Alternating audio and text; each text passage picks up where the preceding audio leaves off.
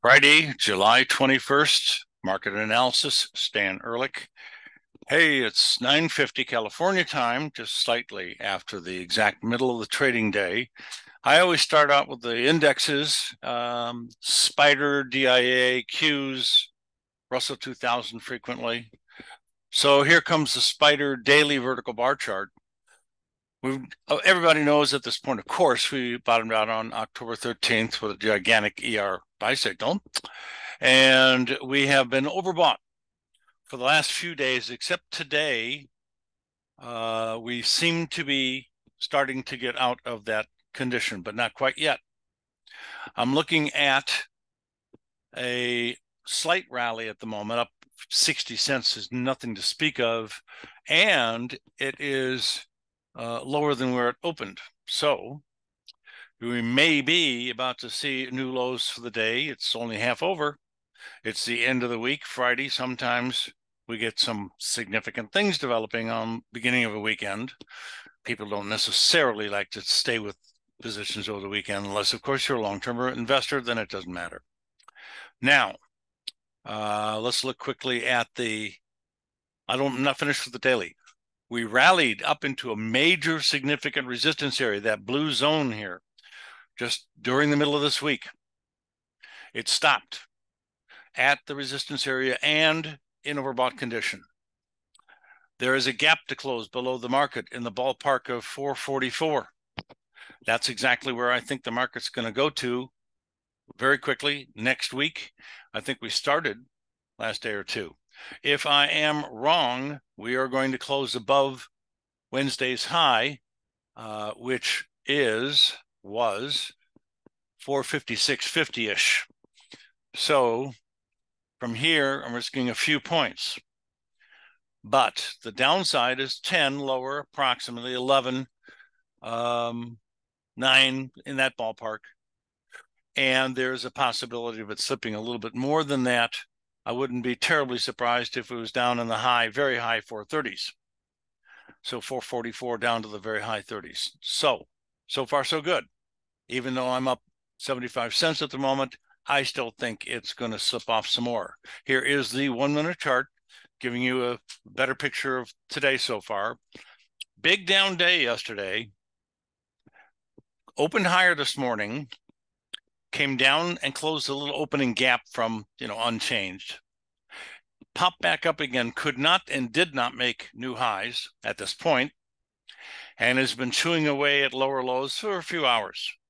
But if we start to get below today's lows at this point, we will then be pretty close to the uh, low yesterday. And if that is broken, again, it's pretty close by end of the week, maybe a quick break in the close. That would be another, gosh, less than a point. We could be uh, dropping quickly at the very end of the day. I think that's possible. Next chart is the daily S&P again. We're finished with that. Daily DIA has the same significant reasons to believe it's going to drop down and close some gaps, or at least back to support.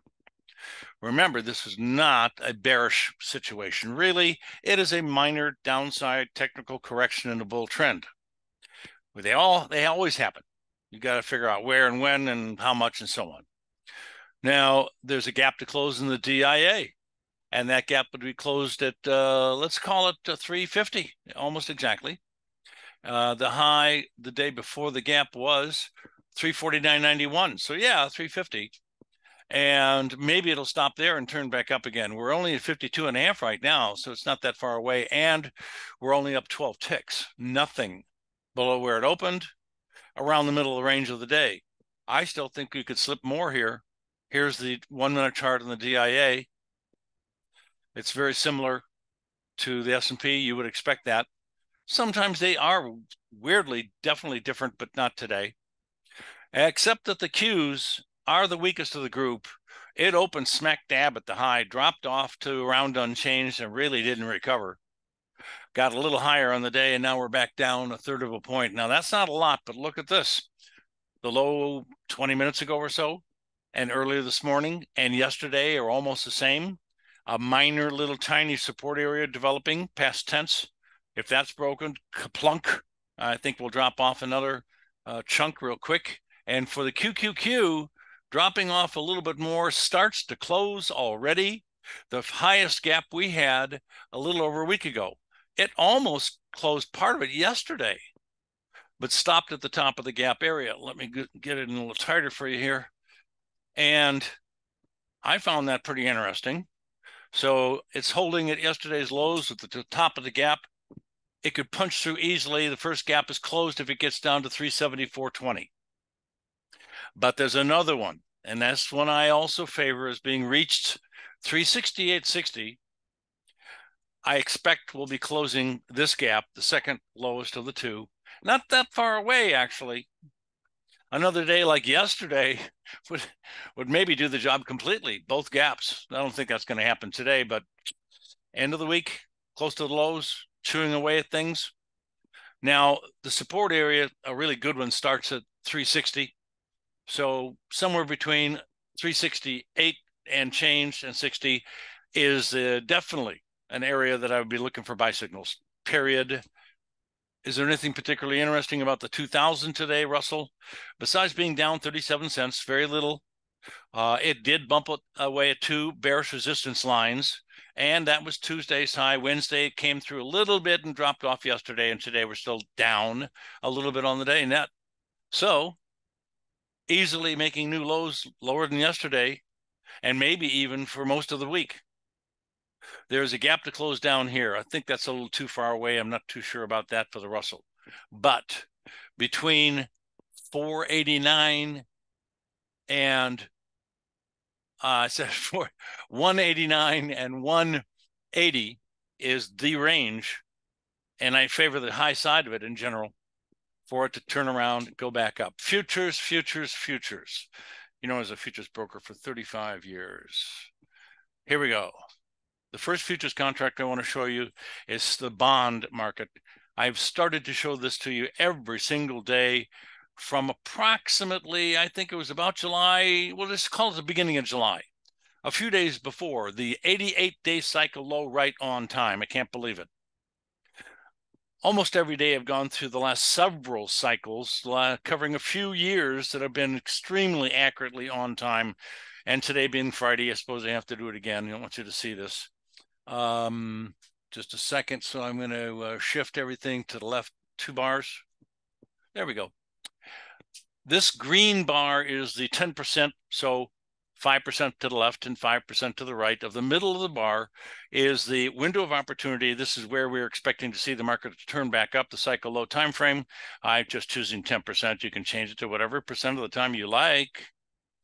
We have lots of controls up here to do a whole variety of things. But let's let's look at these green bars. Bingo. On the money, on the money, on the money with a green ER buy signal on top of that. On the money, in the green, on the money. Not a bad place to be a buyer, but it wasn't the lowest low. We missed it. This is not so good, and the cycle doesn't work quite as good as it was for the first six or seven times that were unbelievably accurate. But now eh, medium. Let's say that didn't really work. And there was room for a little tiny profit here, but again, the hard way. Fantastic. What a, you know, I'm already back to um, January of 20, showing you those cycles. All right, so let's go. The other futures, E-mini, always look at first for the futures contracts. It's the same except for the trading hours make it provide different kinds of signals. The patterns are almost always the same, but uh, daily signals sometimes can change because of the longer trading hours. Next chart is the bond market we just discussed. I am very bullish on interest rate futures. Uh, next major support area, resistance, sorry, uh, is about 129. And then if we can get above 135, it's going to be screaming bullish long term. Next. Same kind of commentary, except the numbers are different for the 10 year notes. Significant resistance starts basically at 114 and a half ish. But if you can get above 118, rocket time.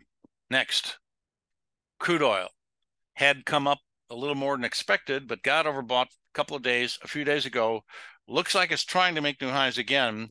Remember, we got stuck for quite a long time between these two red bars, horizontal lines, and that would be 82 and a half ish and um, 71 and a half.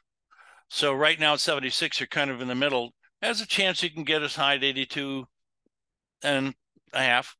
Um, that is a very likely spot for it to stop rallying, especially if you can get overbought getting up into that area, like we had last time, like we had the time before that. Next chart. I'm bearish on energies in general. Heating oil is now overbought for the for last two days. It did break a major bear trend line. That's not necessarily a real bullish sign, but you, people should be aware of those things.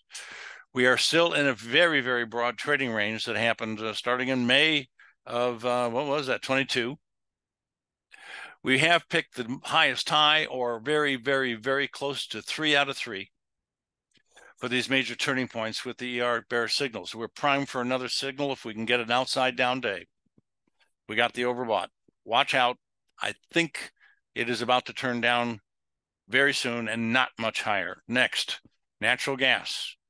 A couple of sell signals had a minor profit potential for a couple days. Nothing to write home about. That's what this one's okay. That was pretty good. And that buy signal was very good too for a week. So I am looking for the downside move below 2.4 and then to challenge 2.2 and Tierra del Fuego, land of South, uh, fire actually, but that's the next southern, that's a nickname for southern, southern tip of South America. Long story, no, no time. Yes, today, excuse me, yesterday in silver as well. We had a bearish engulfing ER sell signal that is in the process of working very nicely. Remember, every time you see red or green, uh, we are long or short ER1 transactions and never miss the green or red uh, signal day. But ER3 would like to get a percentage retracement and get into what might be a less loss if we're wrong and more of a profit if we're right, uh, short position for red signals. We just missed it by a little bit so far, but we have two more days of chance but it looks like this is just taking off, going south right away. How about silver? Same thing for silver. We have an outside down day yesterday, taking off to the downside, new low. Looks like a new low close. It's just plain working so far. Next, and I'm looking for new lows for a few months.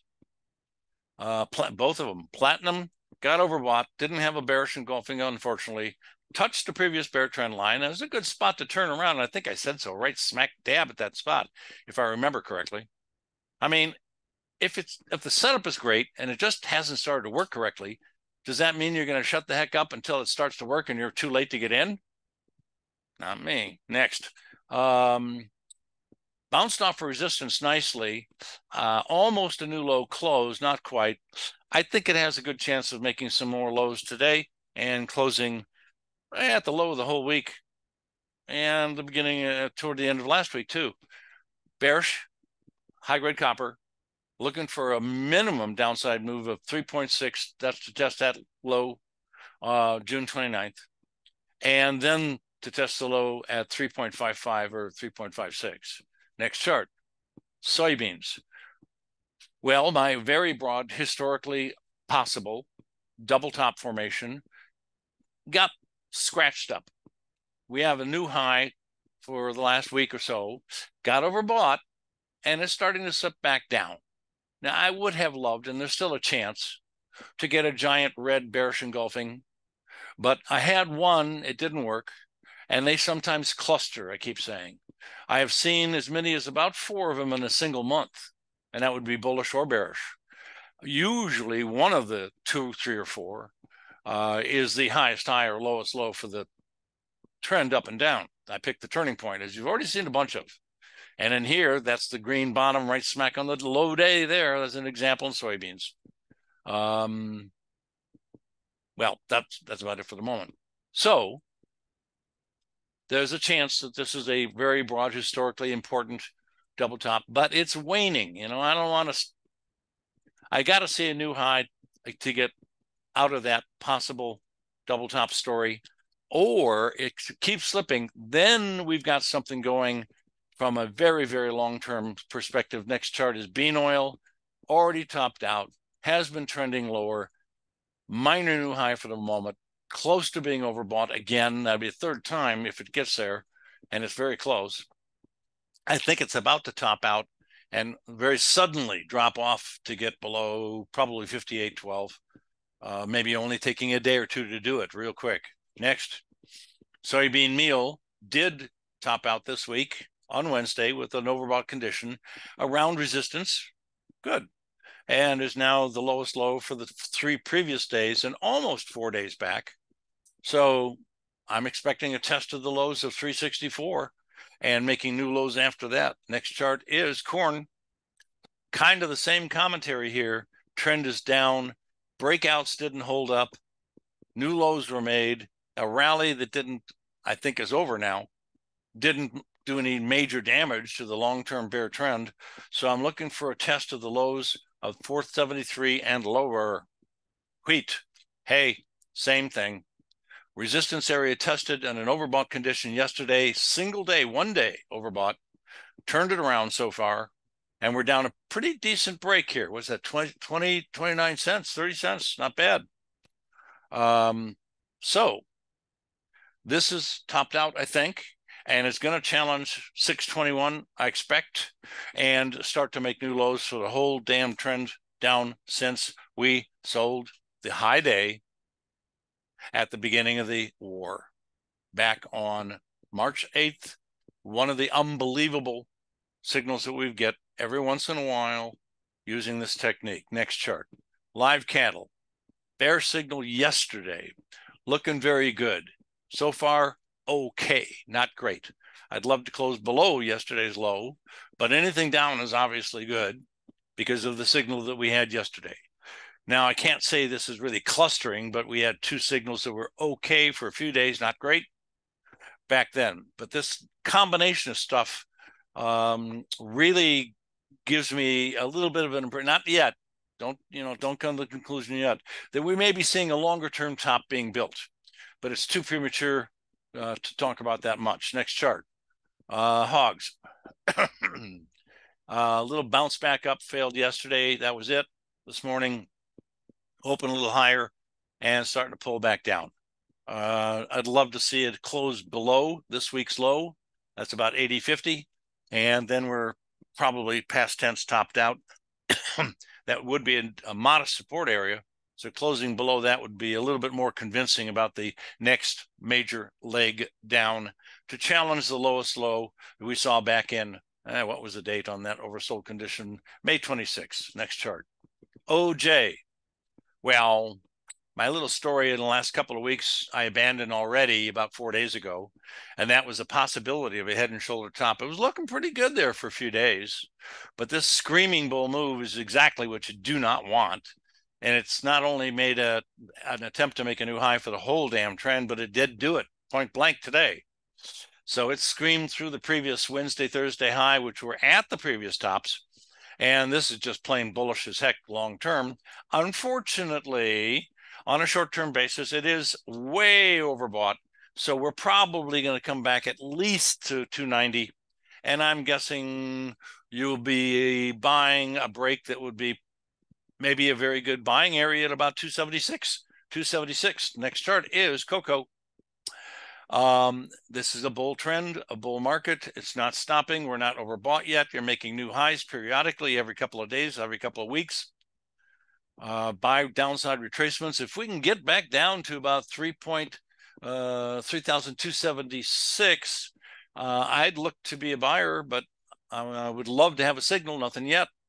Looking for new highs either right away or very soon after a little dip down. Next chart. Cotton, the rag, very boring. We've managed today, how about that? To come back up almost exactly to a previous rally high, and it is the highest high for almost all of this year, since uh, February, looks like. Obvious a resistance line. Stopped on the rally this morning, second day in a row overbought, and is now trading almost unchanged. Closing lower would look a little bearish. If it completely nosedived, and got below yesterday's low, we would have a bearish engulfing ER sell signal, and I'd be very enthusiastic that this resistance area stopped at cold and that we're going to be challenging and then probably breaking the support levels that have developed since the beginning of the well late last year. But i'm not I haven't got the signal yet. All i got is overbought and at a little resistance and maybe it's going to come right back down to 76 again. Next chart is sugar to sweet.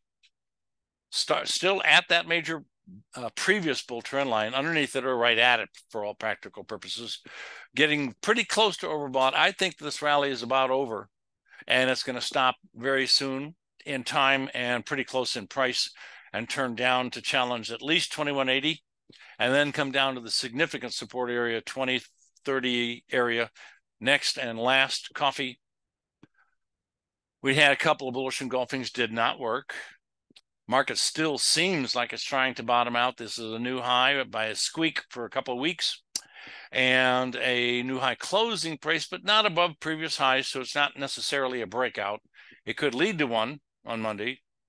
Um, no comment. It could be turning bullish. And back to the mini, I'm going to touch on Forex, which I don't often do because we've had some very interesting developments. Today is the day after yesterday's bullish engulfing buy signal in the US dollar Swiss franc new buy signal. Last time we got a signal was a sell signal there, red, red, not not good. It was a buy signal, didn't work, small loss. That was a little bit of a profit. Really can't write home about that. But these two signals are bearish on the top of the rally and bullish at the bottom of a big rally. At the bottom of the break, the beginning of a big rally. Well, we'll see if this one works really good, but there's more to come. US Canadian dollar had a bullish engulfing a couple of weeks ago. Now potentially forming a double bottom. Watch out for that. No signal in the last day or two. Japanese dollar yen, uh, we got a buy signal on the exact low. And that was on July 14th. And it has been working very nicely since then. The retracement for ER3 happened. We're long on the bottom of a dip. And one day from the lowest low of the whole break, and the beginning of this rally, which is now pretty darn good. Next symbol is euro dollar. I wished we had gotten a sell signal up here. We were overbought, but we didn't. We did get some buy signals very close to this bottom. A couple of sell signals a little premature. And of course, we got the signal at the bottom of the euro dollar for the end of a multi year bear market and the beginning I remind you that signal was way back on September 28th of 22, the beginning of this bull move, which just in the last week or so has made the highest highs going back all the way for about a year. Yeah, a little over a year. Euro's heading higher. Much to my chagrin, I'd like to see it at par or lower. I like to go when I get a chance. So, um, you expect to see the exact opposite on the DX, and we did get a sell signal September 28th to 22, smack dab on top. Nothing else for that. What about the uh, Aussie to the dollar? Nothing recently except overbought at resistance, right smack where my cursor is. Euro to the pound. Couple of people I know will be in London, one of them now, and another one, my daughter, in a month, a couple of months uh, semi business trip. Hmm. Nothing here. Now, lastly, real quick, sectors. Uh, I've only got about five to mention. Sell signal yesterday, the metal and mining index. Hey, I just got a sell signal in gold and silver proper. It lines up perfectly. Let, all three of these are going to work great if one of them works, the rest of them are probably. Next, we got very close to the bottom back on June 6th for the spider retail, but it's having a little trouble at the moment. XLV overbought, looking for it to turn back down, but we got the exact low day, May 31st. ITB is the housing con, uh, construction index. Yesterday, bearish engulfing ER sell signal implies that the housing construction industry is going to be in a little bit of a problem. That's what that implies. This index looks like it's about to head south with a complementary home builders index for the spider having a, another bearish engulfing yesterday. This is a brand new signal. We'll see how they pan out over time. You guys have a great weekend. See you on Monday.